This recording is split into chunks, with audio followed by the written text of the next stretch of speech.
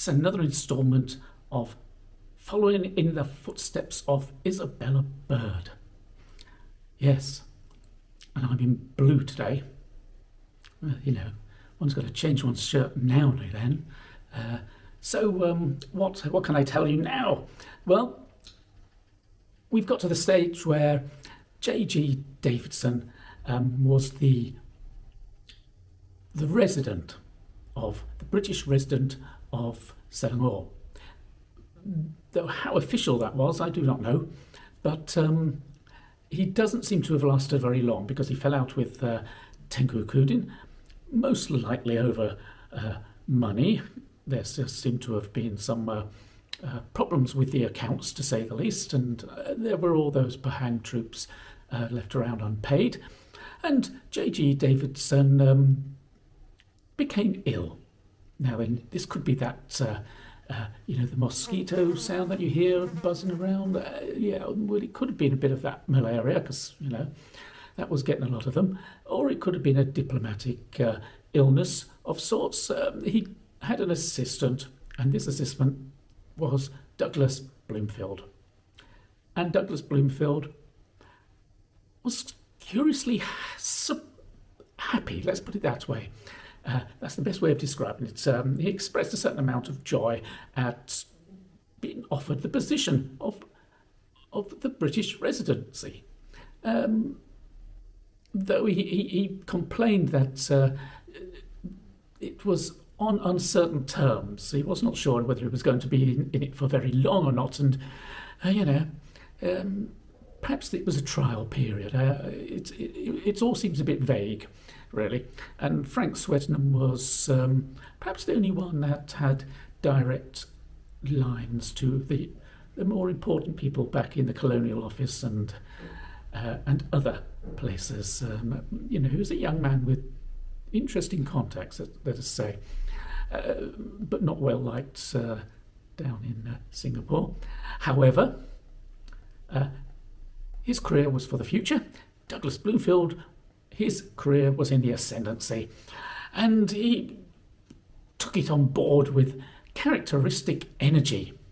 And this is something that uh, everybody says about the, the man, uh, that he was uh, extremely energetic. Um, nobody quite knew how old he was. I mean, this is a guy who outlived two wives and several children, and at the age of 75, he claimed he was 65 and uh, started a new career in Canada. Um, and also got married again, which kind of indicates that he had uh, a certain amount of charm as well as energy, or perhaps it was was it, it was this energy that uh, uh, that attracted women, uh, but it did not attract Isabella, and or maybe he wasn't attracted to Isabella. Perhaps that was her thing, because normally she goes for these these rugged traps. But uh, no, you know, he he wasn't just rugged. He was a guy who liked to dress up in fancy clothing. He liked the pomp and ceremony. Uh, he liked to put on a big show. He was a big, loud talker, and uh, he liked to live a champagne life.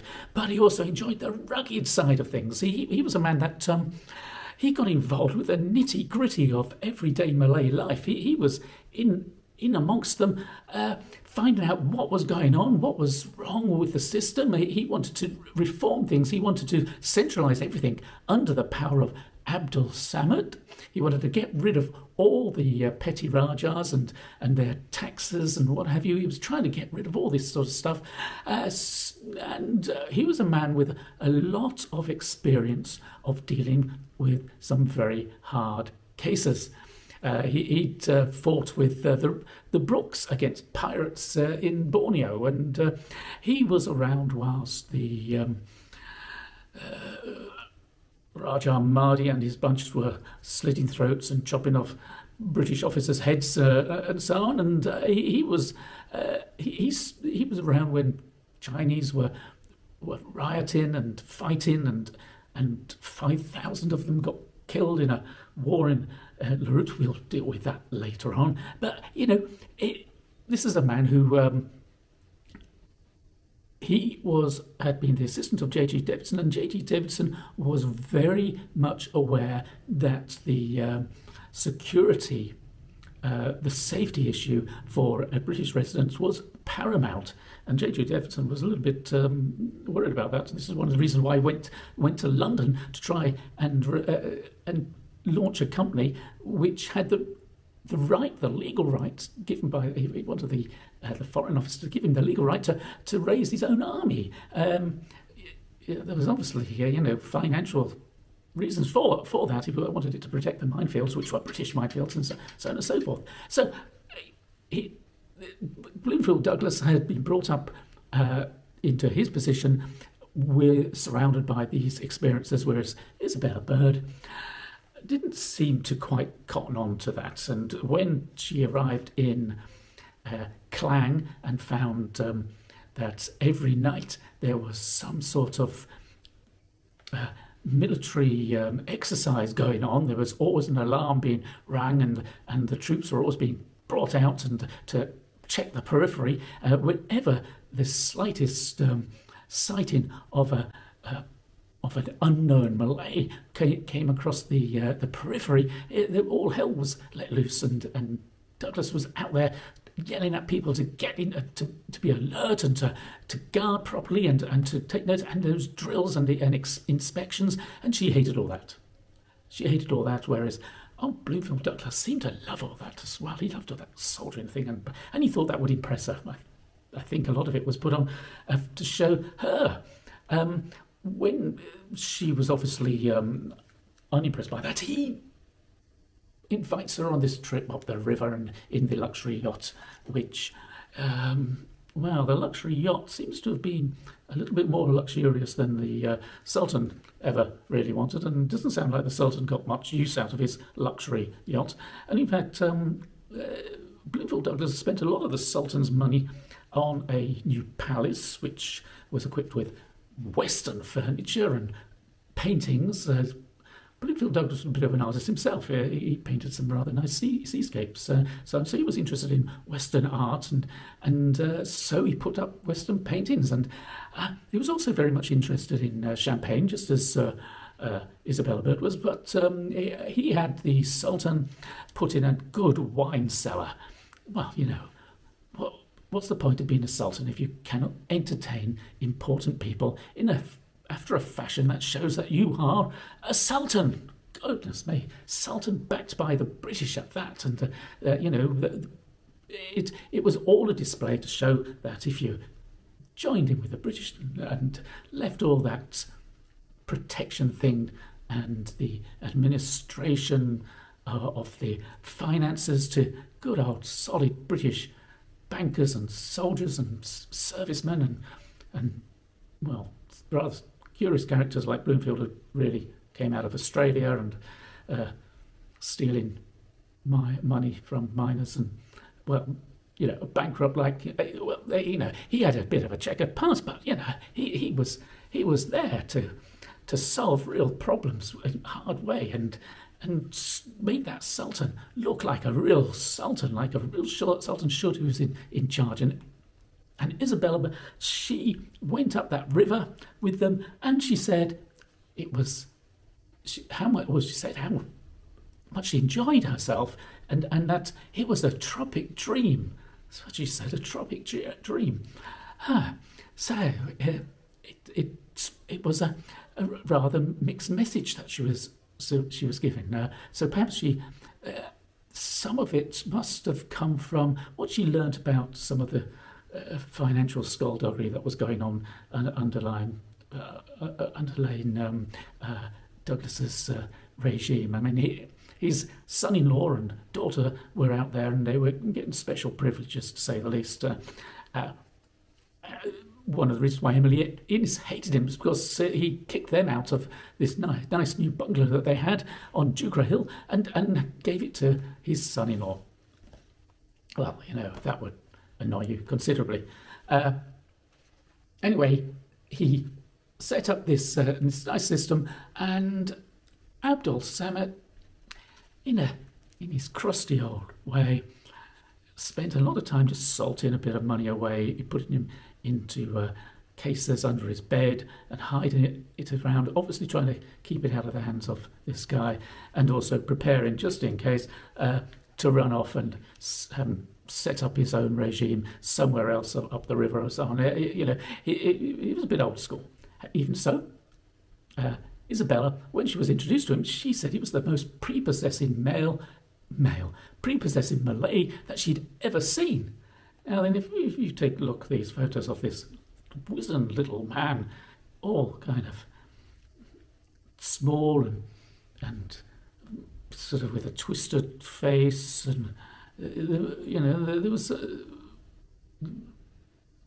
prepossessing is, is not the word that one describes such a character as this uh, in his clothes that barely fit him and so on, which had of course been um, made by the British. Uh, they were trying to make him like an Indian sultan, and so you know they fancied him up a bit.